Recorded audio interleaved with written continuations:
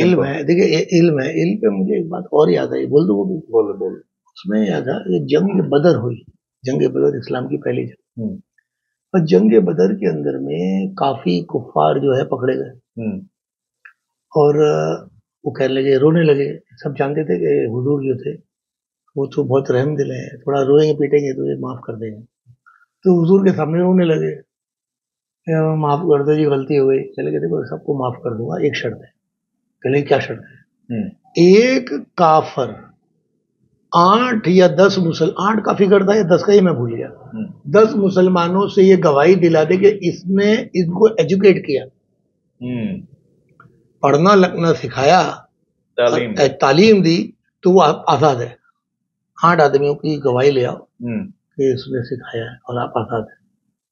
तो आप सोचिए इट वाज द उस जमाने में वो revenue from the losers hmm, revenue from losers हुजूर ने पैसे की शक्ल में नहीं लिए। हम्म, तालीम और इल्म की शक्ल में ली इनका जो नॉलेज था वो।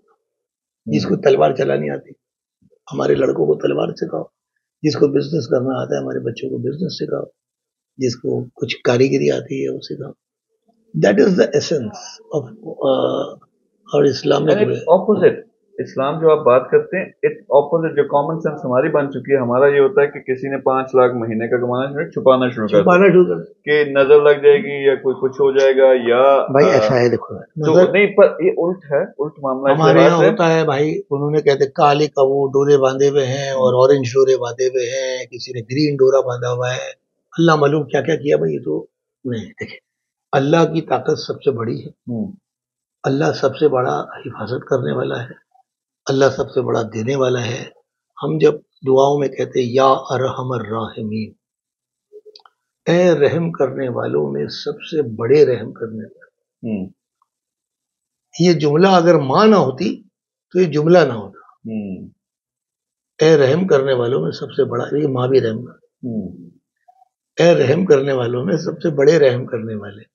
तो जब अल्लाह इतना बड़ा रहम सबसे बड़ा रहम करने वाला है तो किसकी नज़र और किसकी जादू और किसकी टोक ये क्या लगेगी? नहीं नहीं पर इसमें कॉन्सेप्ट देखें वो जो मैं क्लियर कर रहा हूँ ना वो ये है कि जब आप एक लेवल पे पहुँच गए हो देखें अभी हमारे गरीब लोग होते हैं जो एक रुपया भी नहीं नहीं। उनका गुजारा नहीं हो रहा। नहीं हो रहा। जिसने लाख कमाया मैं हमेशा ये कहता हूँ कि लाख कमाया सिखाना शुरू कर दो कैसे कमा रहा हूँ।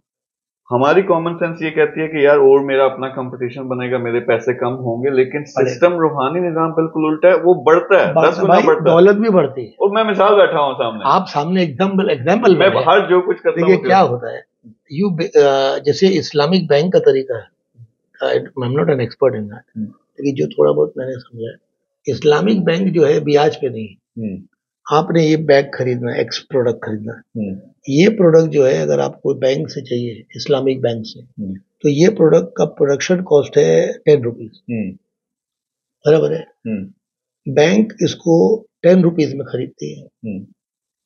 आपको फिफ्टीन में बेचती है एटीन में बेचती है। बैंक का प्रोडक्शन बैंक का प्रॉफिट है एटी परसेंट वो eighty percent you have to pay in two years there is no ब्याज involve hmm, it is the cost price and the profit that is involve E M I उससे divide करके दे this is the basic funda of Islamic banking तो इसी तरह से इल्म है business है आपके पास एक फैक्ट्री है आप आप चेयर बना रहे हो। आप ये बेल बना रहे हो।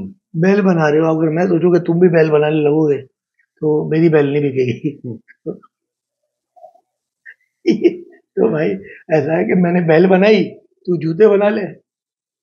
तू मेरी बैल बेच मैं तेरे जूते बेचूँगा। हाँ। कॉपरेशन और नियत अगर ये हो कि खुद भी करना दूसरों के लिए कॉपरेशन देखिए एक आदमी ने बेल बनाने की फैक्ट्री डाली एक आदमी ने गिलास बनाने की फैक्ट्री डाली एक आदमी कंप्यूटर बना रहा है। और सब उसका माल बेच रहे हैं। ऐसे ही सब उसका माल बेच रहे हैं। मेरी दुकान है मेरी दुकान में कप भी बिक रहा है पेन भी बिक रहा है ये भी बिक रहा है ये भी बिक रहा है।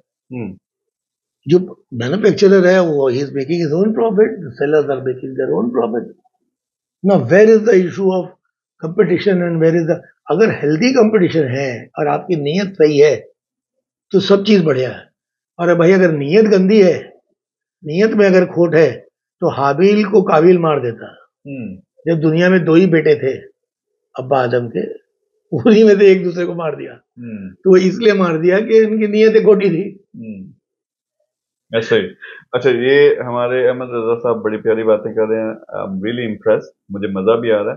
तो यहाँ जो अभी बात की कि वो हम कहते हैं कि ऊपर वाला देने वाला वो खुद देने वाला है उसको देने वाला पसंद आता है ज़्यादा। तो आप लोगों ने अपने पैरों पर खड़ा ना लेकिन इस नीयत से खड़े हो कि अल्लाह हमें इस काबिल करे कि हम आगे हज़ारों लाखों जितनी भी इस्तात है उन लोगों के लिए ज़रिया बन सके उनको सिखा सकें। ताकि उनके घर चल सके। तो जब ये नियत बन जाती है दिल साफ़ हो जाता है फिर कोई लिमिट नहीं है। ये मिलियन बिलियन कुछ भी नहीं है। कुछ नहीं। आप कुछ भी हासिल कर सकते हो तो, तो अमीर साहब थैंक यू वेरी मच आप यहाँ पे आए। बिल्कुल ज़बरदस्त किस्म गप्पे लगे। मुझे बहुत मज़ा आया आपसे मिलके। कुछ कुछ बातें तो मुझे ऐसा लगा हम्म। कि मैं चुप हो जाऊँ। क्योंकि मुझे ऐसा लग रहा है कि जो मैं बोलना चाहता हूँ वो तुम बोल रहे हो। मुझे ये कुछ स्पेशल लिंक बन रहा है। Special link I believe some people जिस तरह से मुलाकात होती है मैं कहता हूँ उसने भेजा। ये अल्लाह की ये अल्लाह की शान है। ये सिवाय अल्लाह के रहम के अलावा और कुछ नहीं। ये फकत अल्लाह का रहम है। हम्म, बस और कुछ। तो इंशाल्लाह आगे बढ़ेंगे काम करेंगे। अल्लाह ने जो रिस्क हमारे नसीब में लिखा है वो ज़रूर मिलेगा। आप जो देख रहे हैं वो भी हमारे लिए दुआ करें हम आपके लिए दुआ करें।